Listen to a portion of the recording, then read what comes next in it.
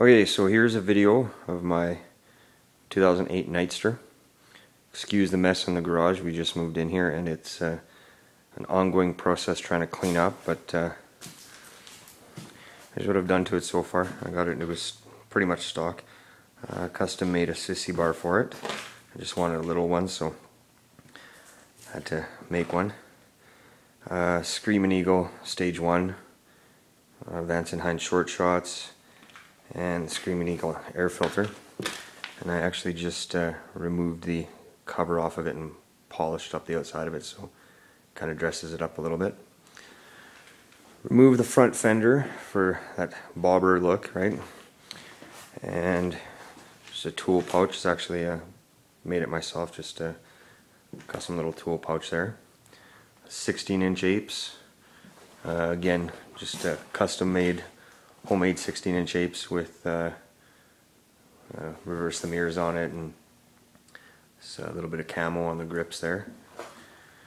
Um, a little bit of camo on the swing arm just to bring it out a little bit. Uh, just put a new gas cap on it. Uh, on this side here, did the same thing pretty much with a camo on the swing arm and that's actually a military pouch of some sort that I got from uh, Quinn the Eskimo. Um, it's got the Harley Davidson Badlander seat. And I've actually got uh, a derby cover for it that I have to replace eventually here once it warms up a little bit.